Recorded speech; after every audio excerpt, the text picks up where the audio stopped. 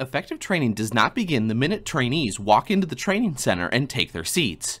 Good training includes focused activities before, during, and after the actual training session. The better the upfront planning is, the better the actual training is likely to be.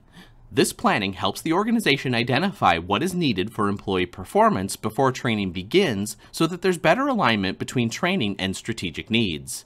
Then the follow-up after training brings the process full circle to determine how performance has been impacted.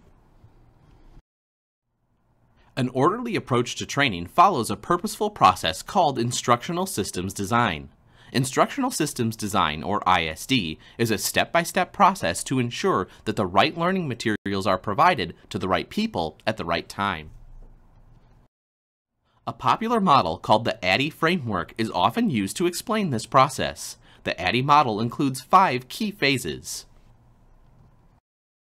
First is assessment. The performance problem or issue is clarified, resource budgets are determined, and the learning environment and learners' existing knowledge and skills are identified.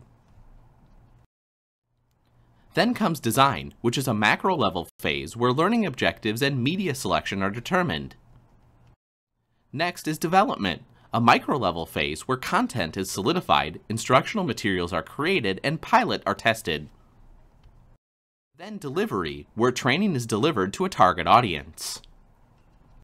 And finally evaluation, where assessments and measures are taken to determine the effectiveness of the training.